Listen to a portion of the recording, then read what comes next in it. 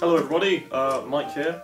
I thought I'd make a little quick announcement video uh, just to talk about something that I'm going to be doing in August. The end of August, uh, beginning of September, I'm going to be going down to Kenya, uh, in Africa, to meet up with an old friend of mine, Nic. And uh, Nic has set up a charity called Fab Projects. Some of you who uh, spent some time on my Facebook page might know about this. I sort of talk about it quite a lot.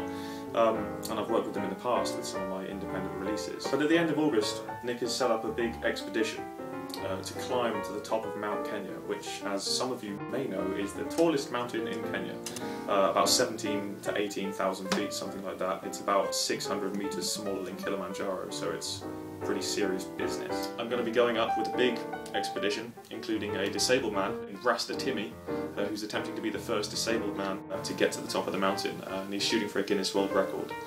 I'll be doing the same, looking to get the Guinness World Record for the first ever gig on top of Mount Kenya. We're hoping to raise about £20,000 through this expedition to build four new water tanks, uh, which will supply water to about 2,000 children who don't have any water. So it's a really, really, really good cause. Uh, and this is an open invitation to you to come along. It's open to you, you can uh, follow the link in the description and uh, find out all you need to know about joining the expedition and coming out to Kenya.